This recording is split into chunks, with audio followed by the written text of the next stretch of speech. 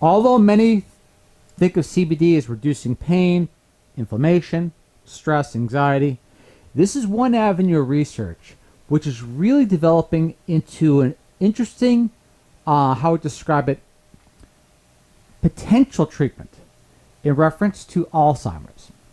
Now, what the research does here is two things. Number one, please keep in mind this is a pilot study and it's conducted in animals, so it's an experimental model. However, though, it does two things. It shows a successful outcome in basically resolving some of the issues in reference to familial Alzheimer's. Although the research also allude to that it can also work just as well for non-familial Alzheimer's. Number two, it yields the mechanism of action that CBD has on certain particular elements that help with clearing out of debris and keeping basically the brain operating at a normal functioning pace. Or I should say state. But let us get into the research as follows. So we're not going to be talking dosages, only the potential for CBD in the treatment of certain conditions in reference to Alzheimer's. So let us begin as follows. CBD reduces plaque, improves cognition in model of familial Alzheimer's. A two-week course, that is a real brief uh, period of time. A two-week course of high doses of CBD helps restore the function of two proteins key to reducing the accumulation of beta amyloid plaque, a hallmark of Alzheimer's disease, and improves cognition in an experimental model of early onset familial Alzheimer's investigators report. We're just going to read right through because they say it best. The proteins TREM2, otherwise known as triggering receptor expressed on myeloid cells 2, and interleukin 33, IL 33, are important to the ability of the brain's immune cells to literally consume dead cells, and other debris like beta amyloid plaque that piles up in the patient's brains, and the levels of both the TREM2 and interleukin 33 are decreased in Alzheimer's. Now, introducing CBD. To proceed, CBD also improves expression, or tr- expression of triggering receptor expressed in myeloid cells 2, or once again, TREM2, which is found on the cell surface where it combines with another protein to transmit signals that activate cells, including immune cells. In the brain, its expression is on the microglial cells, a special population of immune cells found only in the brain, where they are key to eliminating evading evaders such as a virus and irrevocably damaged neurons. Low levels of TREM2 and rare variations in TREM2 are associated with Alzheimer's, and their mouse model, TREM2 and interleukin 3, were both low. I'm going to move a little bit down to the study so you basically get to, get to the conclusion. The outcome to proceed. Both are essential to a natural ongoing housekeeping process in the brain called phagocytosis, in which microglial cells regularly consume beta amyloid, which is regularly produced in the brain, the result of the breakdown of amyloid beta precursor protein, which is important to the synapses or connection points between neurons in which plaque interrupts. They found CBD treatment increased the levels of interleukin 33 and TREM2 sevenfold and tenfold, respectively. To repeat, to reiterate, they found CBD treatment. Now, look, we're only looking at a two week trial, a two week, uh, I should say, trial in an animal model, experimental. Again, not having a dosage for human here, but still looking at the outcome. They found CBD treatment increased levels of interleukin 33 and TREM2 sevenfold and tenfold, respectively, after 14 days. Now, again, if the company wants to mention, for example, I'm about to uh, allude to in the study here, if they want to put a link uh, in reference to their studies, they're more than welcome to. But until then, I'm really reluctant to mention the name of any companies per se, uh, for various reasons.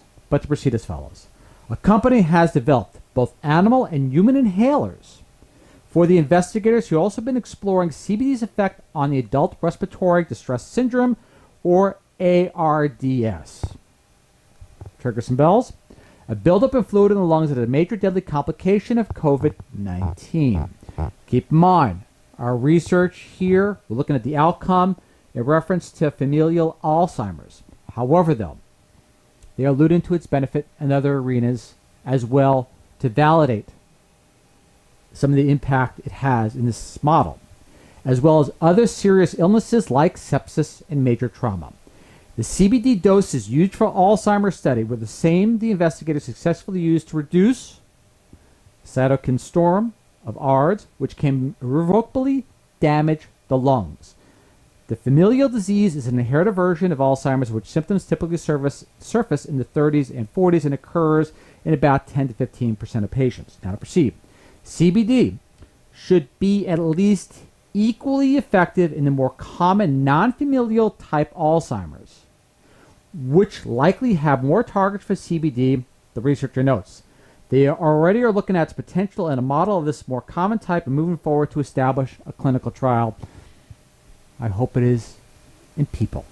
But to give you an idea, what we're going to do is we are going to link to the abstract itself, even though, for example, you'll notice it costs 27.5 euros in order to purchase access to the full study, still just the same.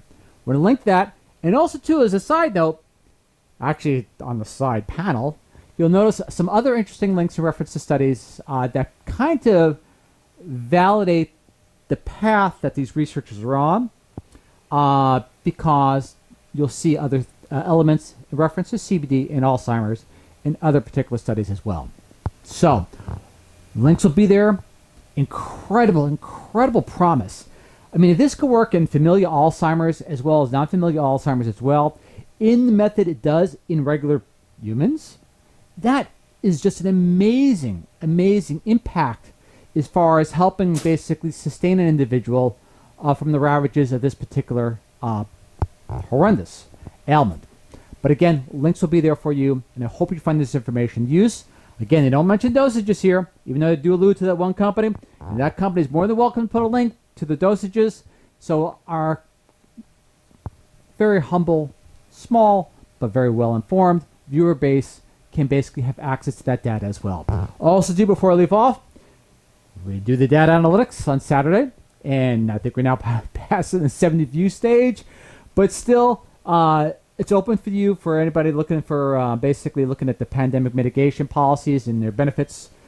If there's any difference at all between certain policies and mitigation strategies, or everything's just happening the way it's happening, regardless. But still, you'll see what I mean on Saturday night or Sunday morning, I should say. But it's there for you too, and you're all welcome as well. But to end the conclusion, CBD in I mean, incredible plethora of potential benefits for something that basically was pretty much in the shadows no more than just a few years ago. Now is becoming quite a rising star. Once we begin to remove our biases uh, in basically reference to the execution of CBD treatments. Again, Ralph Turchiano signing off. Thank you, gratitude, and humbly look forward to see you all once again sometime next week. Catch you next time. Bye.